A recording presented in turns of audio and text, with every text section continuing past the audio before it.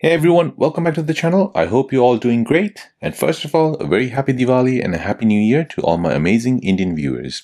May your year be filled with happiness, good vibes, and lots of new tech to explore. Today we're checking out 7 super cool, useful features that can really level up your phone experience. Make sure to watch till the end because I'll also share why these features also make your daily usage smoother and smarter. So before we jump in, don't forget to hit the like button. Let's aim for a 500 likes on this video Subscribe to this channel if you're new here. Drop a comment below telling me your favorite features from today's list. Alright, let's get started. So feature number one is where you can turn on the offline device lock for your Samsung Galaxy device.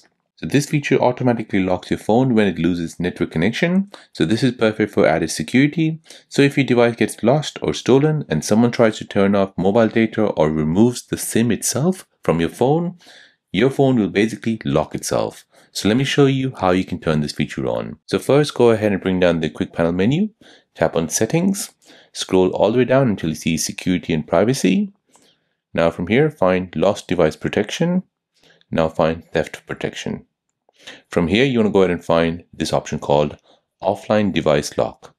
Go ahead and turn this feature on. So this will lock the screen if your phone loses its network connections.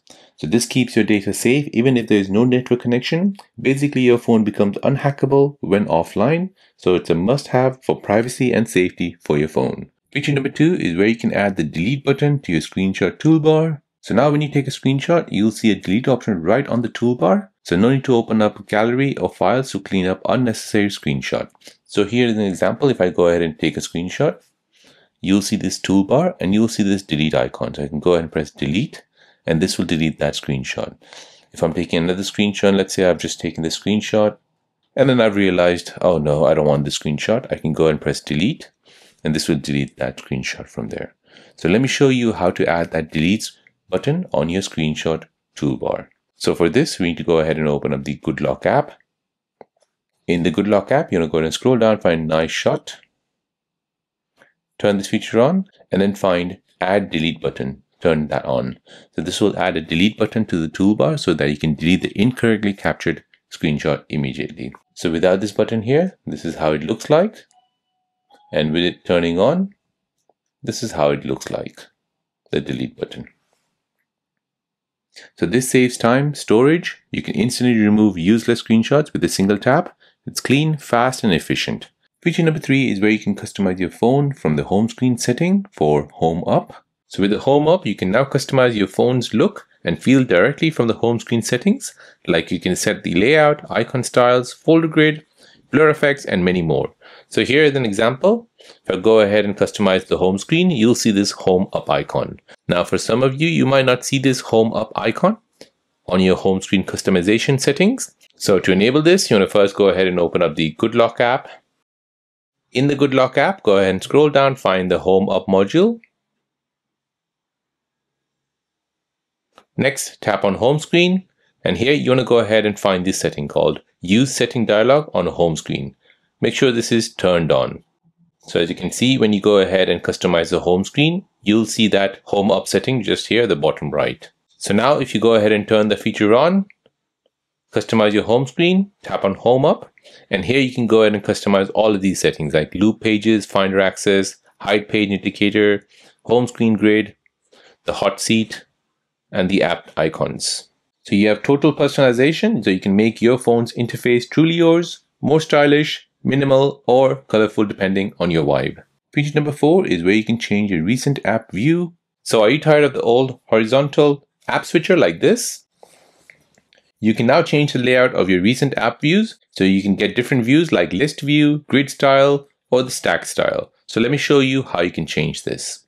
So in order to get that, you want to first go ahead and open up the GoodLock app. Now in the GoodLock app, scroll down, find Home Up. Make sure that is turned on. Then tap on Home Screen. And here you need to make sure Use Settings dialog on the home screen has been turned on for you. Turn it on, then press Home. Now go ahead and open up your recent app view. Tap on the three dots and then tap on Home Up. Now here, this is the layout style, so you can go ahead and change your layout style. So currently it's set to tilt stack, change it to grid view. So as you can see, this is grid view. Let's change it to vertical list. So as you can see, this is a vertical list. Next, you can go ahead and choose a slim list as well. Now go ahead and choose what's your favorite style. And then go ahead and press home to select that. So this makes multitasking smoother and visually cleaner so you can find your recent app faster and manage them your way. Feature number five is where you can add tags to screenshots. So this one's a clever one. You can now add tags or keywords to screenshots as you take them. So later you can just go ahead and search by that tag to instantly find what you need. So here is an example. If I go ahead and take a screenshot, this will give me a toolbar. Now in the toolbar, I can go ahead and apply some tags. So these are the tags which can be applied. So here, the phone will basically suggest some screenshots. So as you can see, it suggested Chrome, screenshots, product, tech radar, iPhone 17 Pro, camera. So these are all taken from the screenshot itself. However, you can go ahead and create your own tags. So since this is about an iPhone, I'll go ahead and create a iPhone tag. I can go ahead and add any of these other tags which are suggested to me. And now once that's done, I can go ahead and press save. And now that tag has been added to that screenshot. So when I go ahead and look at the screenshot and the tags, you'll see all the tags which have been applied. Now the purpose of this is to find your screenshot quicker. So say for example, if you wanted to find a screenshot regarding iPhone, you can go ahead and open a gallery. You can go ahead and tap on search. Go ahead and type in iPhone. So once you type in iPhone as a tag, you'll see that that screenshot appears as the first one. So no more scrolling endlessly through your gallery. You can organize your screenshots by topic like bills, memes, recipes, and retrieve them in seconds. Feature number six is where you can increase your screenshot resolution. So now you can capture high resolution screenshots. This is perfect for detailed content, documents, or sharing crisp images online. So here is an example. I've taken a screenshot of the iPhone 17 Pro Max. However, I just want this small picture, which I want to keep in my gallery. Now I can go ahead and crop it from here, from your gallery. Now, as you see, once I'm copying this, I'm basically decreasing the resolution of that image.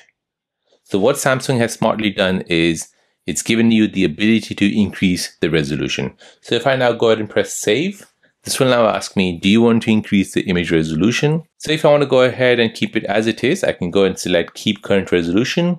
However, I want to go ahead and increase the resolution to make this image more sharp and more cleaner. So I'll tap on increase resolution.